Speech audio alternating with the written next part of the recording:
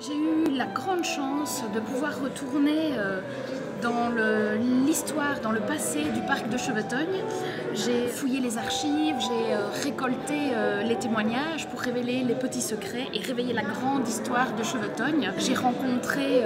des, gens qui ont des souvenirs très personnels, qui sont nés ici, comme, comme Marie-Thérèse Culot,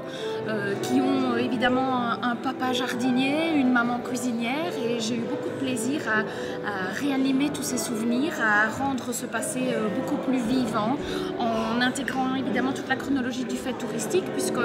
le domaine de Chevetogne aujourd'hui est clairement inscrit dans le, tourisme social-démocratique et donc tout en, révélant ce passé euh, de Chevetogne, l'idée était évidemment de mettre en exergue la mise en tourisme de, ce coin de l'Ardenne, euh, de définir la notion de loisir, d'en aborder toutes les nuances.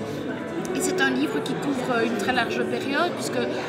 alors, on commence avec le Moyen Âge, mais c'est vrai que la propriété, elle, se révèle, elle s'impose clairement au 19e siècle. On évolue jusqu'à aujourd'hui, jusqu'en 2016, euh, en abordant tout le travail que la province de Namur a entrepris depuis 1969.